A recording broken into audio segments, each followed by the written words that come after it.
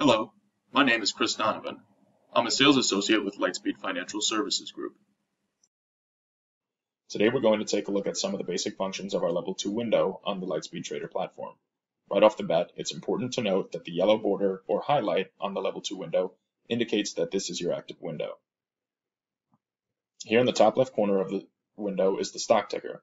If you'd like to take a look at a different stock, go ahead and click on the ticker already displayed and type in your desired ticker, then press enter.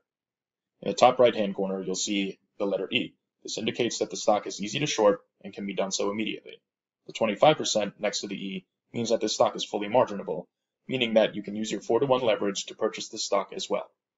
The top of the level 2 window is your level 1 data. It shows the last price, the volume, percentage change, high and low for the day, and opening price as well as closing price. In the gray box in the window below is a view of the order book for a particular stock. You can see orders from NASDAQ, ARCA, Amex, and so on. Now, let's say, for example, you'd like to not see orders from a particular exchange. You can access the settings for the Level 2 window by clicking on the gear in the upper right-hand corner of the window. Opening the settings window brings you to the Quotes tab. Here, you can type in the exchange you would like to exclude from your Level 2 window. Be sure to click Add when you're done typing. Click OK to exit the settings window. Now you can see here in the level 2 window that it no longer shows orders from BATS. I'm quickly going to go back into settings to undo this. To open up the settings for the level 2 window or any window you'd like to change settings in, just click on the gear in the, in the top right corner. That brings you directly to the relevant settings.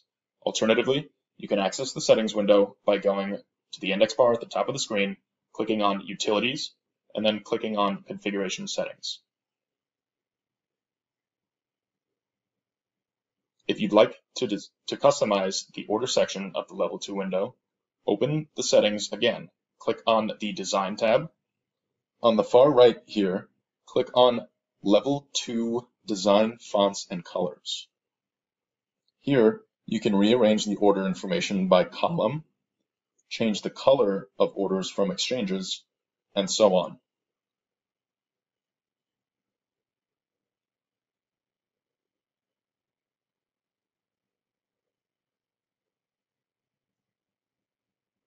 If you'd like to make changes to the top portion of the Level 2 window, click on the Level 1 Fonts and Colors button. That will bring up a window where you can change the color of information and the fonts as well. In the Layouts tab, you can select to add options for info to display on the top half of the window.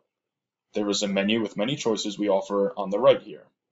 You can also choose to rearrange the information in the graph window as well. Just be certain to keep in mind that this is for the level 1 information.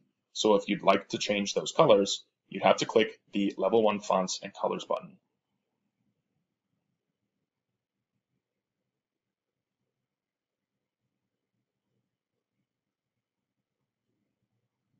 Moving on to Price Levels tab, here you can customize the color and levels of quotes or specific quotes you'd like to see. You can also choose to sort them by size or price. The Highlights tab is fairly straightforward Type in the name of an exchange in the box underneath where it says MM slash ECN. Click Add, and orders in the Level 2 window from that exchange will now be highlighted. Thank you for watching. Have a good day.